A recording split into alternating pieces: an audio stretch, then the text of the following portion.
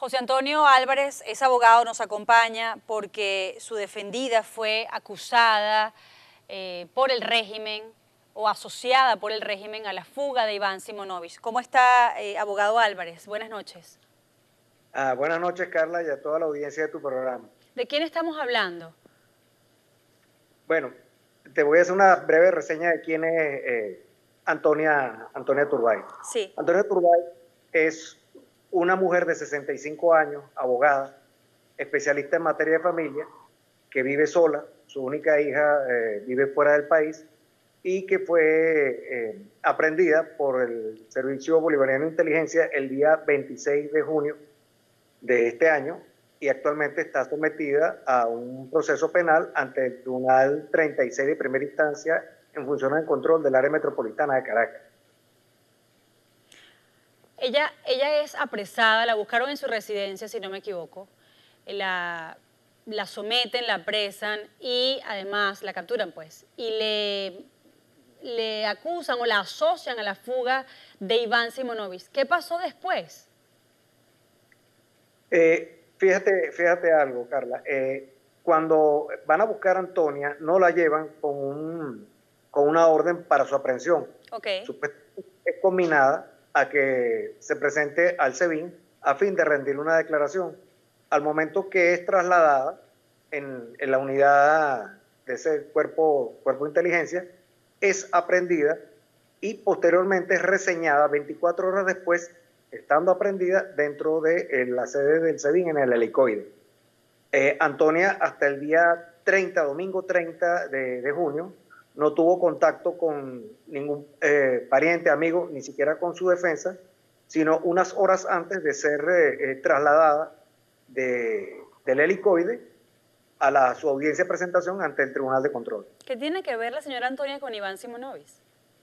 Bueno, realmente el único vínculo que tiene Antonia Turbay, como el que puede tener la mayoría de los vecinos de la Alta Florida, Urbanización Ávila, es el hecho de ser vecinos. Gente que se conoce desde hace mucho tiempo Antonio Turbay es una activista vecinal eh, comprometida inclusive en, causas comunitarias y por esa razón conoce y es conocida por la comunidad del sector.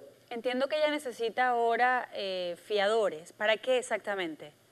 Sí, el día 30, eh, en su audiencia de presentación, el tribunal, dado que se le está imputando un delito cuya pena es de uno a dos años de presidio, del artículo 264 Código Penal, específicamente el delito de quebrantamiento de condena por supuestamente facilitar o ayudar la fuga de, la fuga de reo, a ella le corresponde el beneficio de una medida cautelar, es decir, de seguir su juicio adelante, pero en libertad. El tribunal estableció en este momento, el día 30, tres, eh, eh, eh, limitantes. La prohibición de salida del país, la prohibición rendir declaración sobre su caso y la presentación de dos fiadores. Ahora bien, ¿qué ocurre? Que Antonio es una mujer sola y es muy difícil eh, que, obtenga fiadores.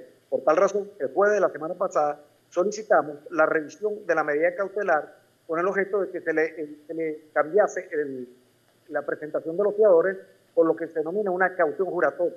No, y entiendo que la gente que la conoce allí, aunque ella está sola, no tiene familia, su hija creo que está afuera y dio a luz el mismo día que ella fue eh, que, fue trasladada pues, ¿no? a, esta supuesta declaración, entiendo que no la quieren ayudar porque, por temor, también por miedo. Entonces es todo un círculo vicioso para ella, ¿no?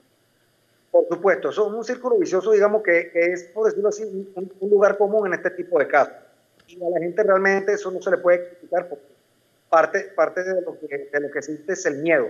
Y, y parte Estamos escuchándolo mal, abogado. Igual ah, perdón. Ajá. para, para, cerrar, sí, nos decía la idea.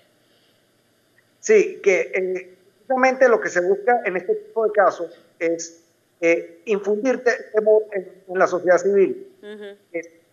y lo que, lo que promueve la inacción de la gente y es precisamente el, mayor caldo de cultivo para que se sigan eh, cometiendo este tipo de, este tipo de, de, hechos.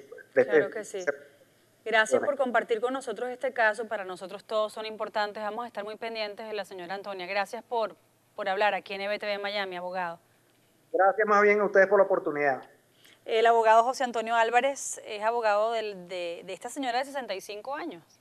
La, por ser vecina de Simonovich, la vincularon a su fuga. Increíble, ¿no? De lo que, bueno, no es increíble, ya nada nos sorprende de, de estos narcotraficantes, asesinos, etcétera, que en este momento todavía controlan Venezuela. Así les digo, chao mundo.